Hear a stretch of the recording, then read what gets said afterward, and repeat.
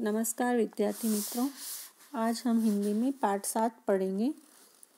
उसका नाम है ढूंढते रह जाओगे। उसका साहित्य का प्रकार है पहेलियाँ। पहेलियों से पढ़ाई के साथ मनोरंजन भी होता है और दिमागी कसरत भी कराती हैं पहेलियाँ। यह तर्क शक्ति और कल्पना शक्ति को बढ़ावा देती हैं।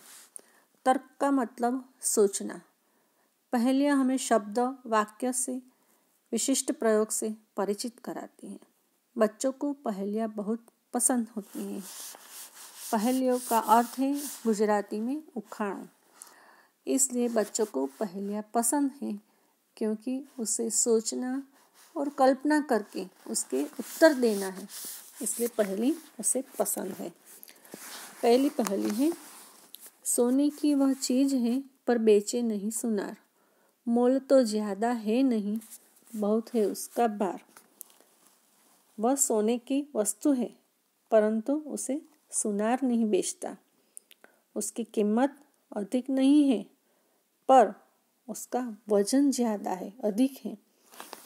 तो उसका उत्तर होता है चार पाई सोने की चीज़ है, यानी सोना, यानी आदमी सो जाता है, उसकी बात करते हैं।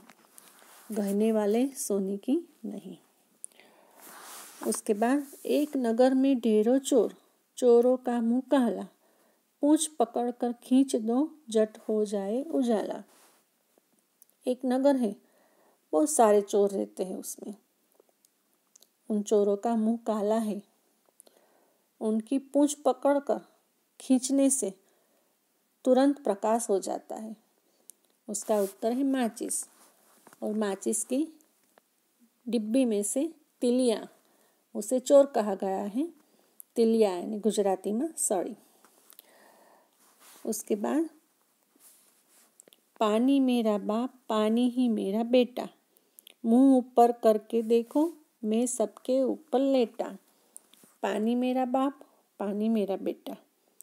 मुँह ऊपर उठाकर आकाश की ओर देखो तो मैं सबके ऊपर लेटा हुआ हूँ। यानी उसका उत्तर होता है बादल।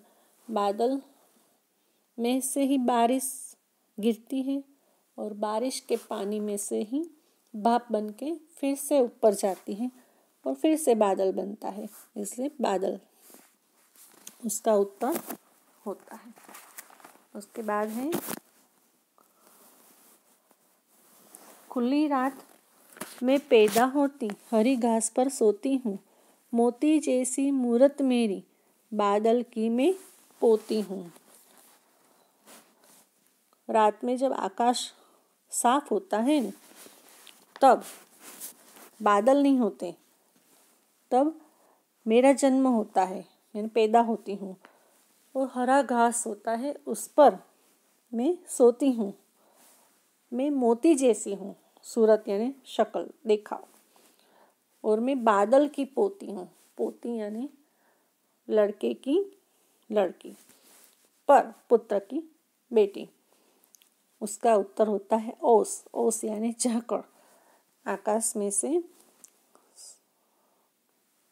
प्रभात में सवेरे जब बूंदे छोटी छोटी घास पर होती है, उसे ओस कहते हैं।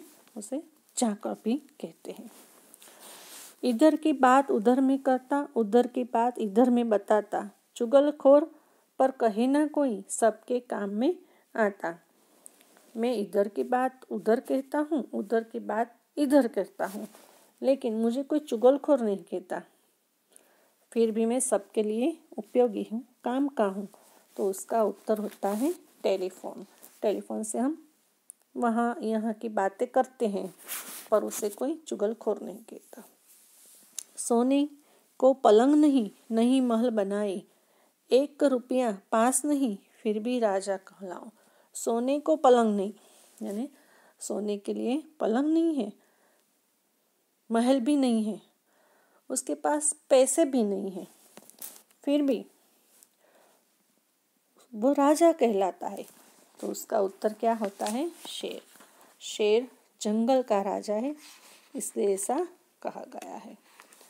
उसके बाद आता है, तीन अक्षर का, नाम मेरा, पानी देना काम मेरा। प्रथम कटे तो दल कहलाऊं, बीच कटे तो बाल कहलाऊं। यानी तीन अक्षर का नाम है। मैं सबको पानी देता हूँ, उसमें से पहला अक्षर निकले जाए तो मैं दल कहलाऊं। और बीच का अक्षर निकल जाए तो मैं बाल कहलाओ तो उसका उत्तर होता है बादल। आप सबको ये सारी पहेलियाँ लिखनी है नोट के अंदर।